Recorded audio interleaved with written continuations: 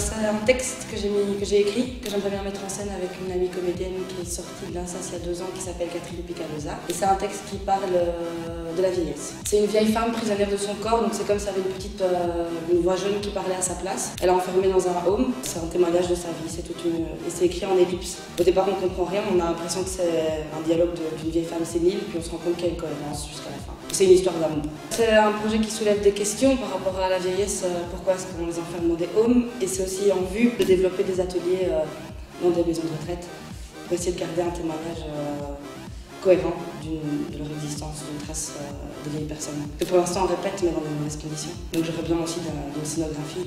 Travailler à, base de ça, à base des vieilles photos. Donc j'aimerais bien qu'elles sortent d'une énorme photo et Il euh, me faut de l'argent.